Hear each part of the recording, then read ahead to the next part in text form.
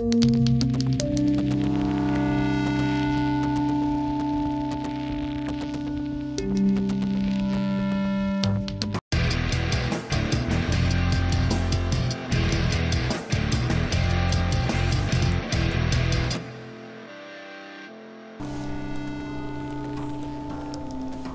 chào các bạn, hiện giờ mình đang ở trong quán trà sữa Sukansai đây là thương hiệu ờ, trà sữa của Nhật Bản.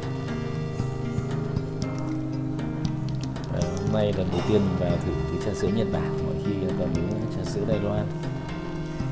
Hôm nay cảm nhận ờ, cái vị trà sữa này tương đối là nó rất là đặc biệt. Và nó có hai món mới là trà sữa nướng.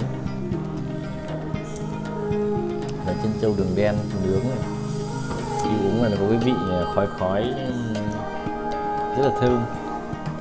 Vị rất là khác lạ. Và đây là ừ, Kansai di Latte tức là cái ờ, vị truyền thống.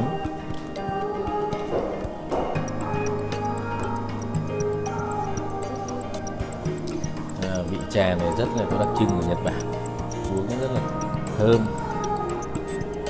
Nhật Bản là một trong những cái nước mà có cái nền à, trà đạo rất phát triển. Giờ thưởng thức trà, thưởng trà chứ không phải như uống trà. Rồi cái vị của nó rất là đặc trưng.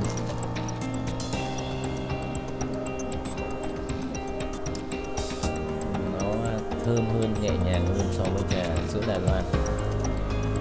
Và đặc biệt là cái mùi trà sữa nướng này có thơm cái vị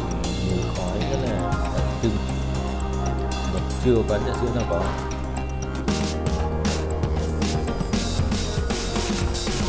Đây là chân trâu đường đen. Hai cái giống nhau.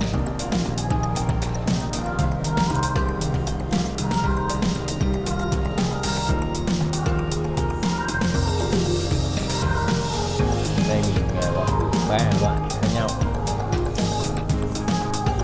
Rồi giờ mời các bạn này quan một vòng quanh à, quán à, trà sữa Sukansai Royal bia, và Ring đồ uống hoàng gia. Nhật Bản